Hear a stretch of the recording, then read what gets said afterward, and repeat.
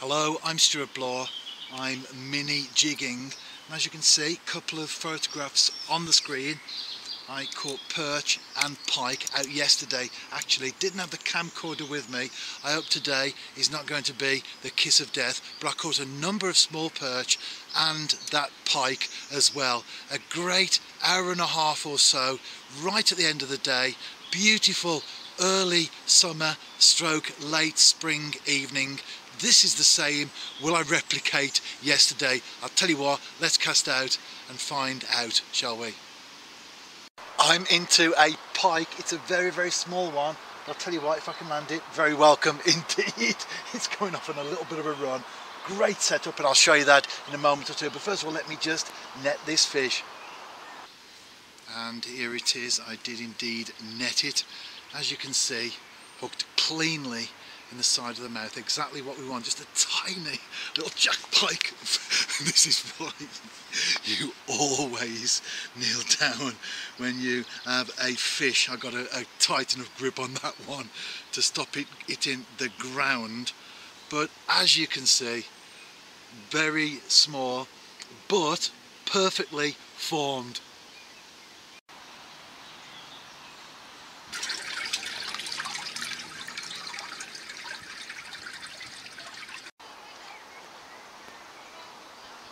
I've lost one and I've just connected with another so plenty of fish out there. And the first swim that I've tried this evening this one seems a little bit better as well. And I'm about to hopefully net it in a moment or two. It's another pike a little bit bigger than the one landed previously. And as it comes to the side it's going off on a on a little run as they do. But it looks hooked well and proper again in the side of the mouth. Um, hopefully oh it's it's thrashing trying to shed the hook as they instinctively do but I'm now drawing it over the net in the net and on the bank in a moment or two and I'll show you. And here it is. As I said bigger than the first fish but still just a little jack. But as always very nice to catch indeed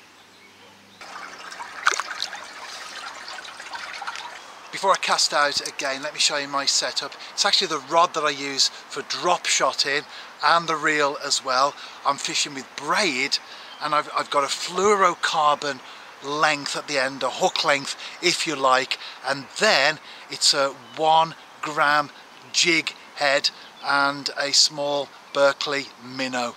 Very nice and compact. That'll take the smallest of perch and of course bigger fish as well. And the sort of fishing that I'm doing this evening it's all about fun and enjoyment. So I'm not necessarily setting my stall out to catch the biggest fish in here. I just want to catch and have fun. And I am. And that is what angling is all about. I'll be getting a few takes. Nothing after those two pike though. But this time round something i.e. another small pike hit the lure as it hit the surface of the water. So my third pike, it's a tiny, tiny one, this time smaller than the others, another pike, but no perch. Let me just show you this now to the camcorder. Oh, and it's got, there you can see I've hooked it cleanly in the side of the mouth, and it's got the remains of a, another meal in its mouth. Now that looks like a small perch to me. No wonder that I'm not catching any perch with these fellas on the go this evening. I'm about to cast out again and I'll talk you through the way that I approach this type of fishing. Very, very gently. That's a word that I would use. Gentle, finesse, delicate, that's the approach. I'm casting in and then I'm just allowing the lure to move in very, very gentle movements. The idea for me is to keep it moving but not too quickly and that way you get to cover a fair amount of ground and especially in the colder months when the fish aren't as active as they are now, that second or two that you keep the bait in front of a fish can mean the difference between having a good day and blanking.